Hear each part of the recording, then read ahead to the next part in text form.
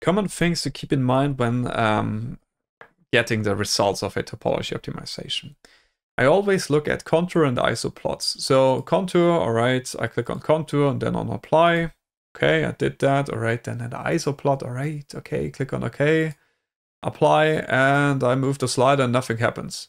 What is this?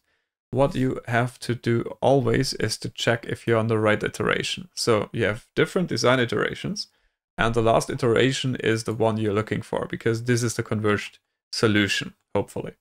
Now, uh, here you can see it, and now the slider also works like intended. If you want to see the design history, you can also change it here by changing this to the other option, transient. And now by clicking here, careful, it's way too fast and you have to slow it down.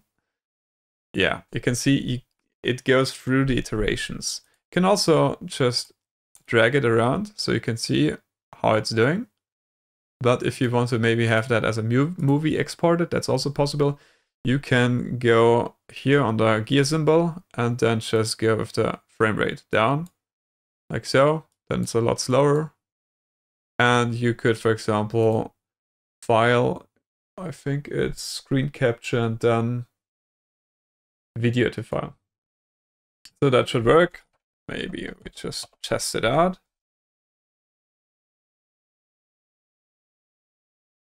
Now let's see, wait a second. I will just quickly fetch the file. Maybe it didn't work because of my really good folder name. Um, that could be it. Uh, you sh really should care about the folder names. It's, no, it worked, sorry.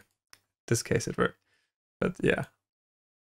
So you see, that's it. And you can just take a look at this uh, and send it to your client or so. All right, thanks for that, and uh, have a good one.